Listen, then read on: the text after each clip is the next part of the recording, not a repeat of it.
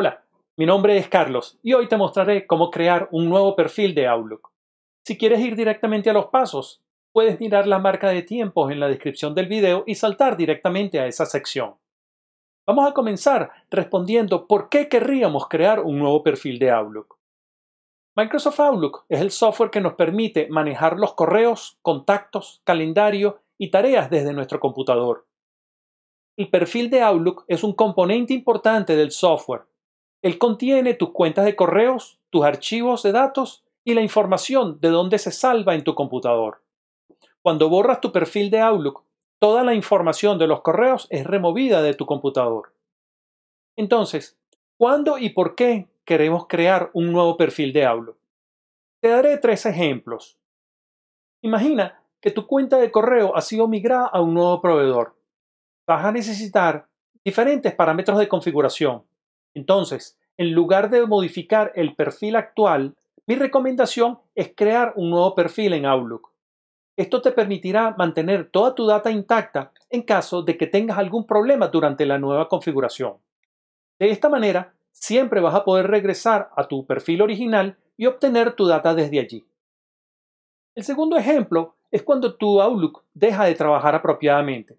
Algunas veces la solución es crear un nuevo perfil para corregir el problema.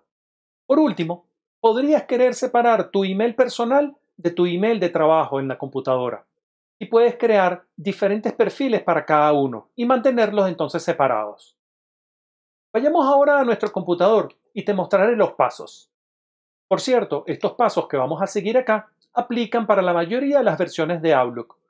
2010, 2013, 2016, 2019 y también Outlook para Microsoft 365. Hemos accedido ahora a nuestro computador y lo primero que tenemos que asegurarnos es que Outlook esté cerrado.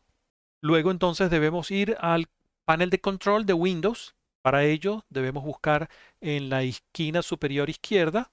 Podemos simplemente hacer la búsqueda introduciendo panel e inmediatamente vamos a encontrar el control panel o panel de control. Hacemos clic allí y él nos va a abrir esta ventana que por defecto nos muestra los iconos organizados por categorías. Esta opción no nos va a permitir encontrar lo que necesitamos y por lo tanto debemos entonces seleccionar, haciendo clic en la parte superior derecha, en la flecha, iconos grandes o iconos pequeños. Cualquiera de los dos nos va a servir. Podemos utilizar los grandes y vamos a entonces a buscar por Mail, Microsoft Outlook.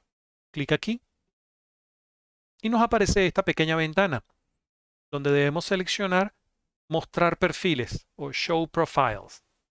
Luego nos aparece esta pequeña ventana donde nos muestra los diferentes perfiles que hemos creado anteriormente. Ahorita lo que vamos a hacer es crear un nuevo perfil para esta demostración. Vamos a hacer clic en Add o agregar y vamos a asegurarnos antes que todo que seleccionamos la opción prompt for a profile to be used o que nos pregunte por cuál perfil queremos abrir. Esto es lo que nos va a preguntar cada vez que abrimos Outlook cuál perfil es el que queremos abrir. Hacemos clic en aplicar y vamos entonces ahora a hacer clic en agregar. Nos va a preguntar entonces por el nombre del nuevo perfil. Aquí podemos seleccionar cualquier nombre. Nosotros lo podemos escoger. Este lo vamos a llamar Profile 5. Clic en OK y entonces nos aparece esta ventana para empezar la configuración de la cuenta de correo que queremos configurar en Outlook. Seleccionamos, ponemos nuestro nombre, ponemos la dirección de correo que queremos configurar en Outlook con este nuevo perfil, introducimos nuestro password y vale la pena hacer una acotación acá. Nosotros hemos escogido utilizar esta opción que es la de una configuración automática. La cuenta que vamos a nosotros a configurar en este momento en Outlook permite hacer esa configuración automática que es una cuenta de Office 365. Ahora, si nuestra cuenta de correo que vamos a configurar no tiene esa opción, debemos entonces seleccionar la opción manual y con esa opción manual vamos entonces a poder configurar nuestra cuenta, ya sea utilizando POP3 o IMAP o IMAP. Esta configuración que nosotros vamos a utilizar en este momento es mucho más sencilla y depende del proveedor de correo electrónico con el cual trabaja nuestra cuenta de correo. Hacemos clic en siguiente y ya automáticamente nuestra cuenta se encuentra configurada. hacer clic en finalizar, nuestro perfil ya ha sido creado. Hacemos clic en OK y estamos listos entonces ahora para abrir Outlook. Tenemos Outlook aquí y nos está preguntando cuál es el perfil que queremos abrir. Es decir, vamos a tener la opción de seleccionarlo. Entonces escogemos nuestro nuevo perfil, que es el perfil número 5, y hacemos clic en OK. Se va a tardar un poquito para abrir Outlook, porque es la primera, ya está configurando una cuenta de correo nueva. Y hemos abierto entonces Outlook ahora con nuestro nuevo perfil. Cada vez que abrimos Outlook, él de aquí en adelante nos va a preguntar cuál es el perfil con el que queremos abrir. Sin embargo, si queremos abrir siempre ya un perfil determinado, porque ya terminamos, por ejemplo, la migración de nuestro correo y sabemos que este es el perfil que vamos a abrir de aquí en adelante siempre, lo que debemos hacer es acceder nuevamente al panel de control. Clic aquí para cerrar nuestro Outlook.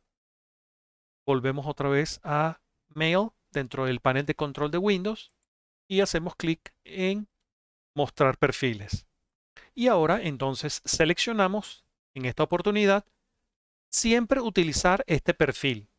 Hacemos clic aquí y seleccionamos cuál es el perfil que queremos abrir siempre utilizar el perfil número 5, hacemos clic en aplicar, hacemos clic en OK.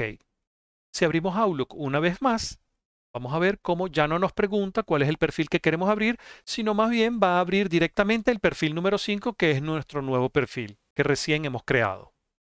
Con esto llegamos al final de nuestro video del día de hoy acerca de perfiles de Microsoft Outlook. Espero que este video haya sido de utilidad. Si te ha gustado, por favor haz clic en me gusta. Si tienes cualquier pregunta o comentario, te invitamos a que lo dejes en la parte inferior del video. Si quieres ver más videos como este en el futuro o lo quieres encontrar fácilmente, por favor, haz clic en el botón de suscríbete. Gracias y esperamos vernos en una próxima oportunidad.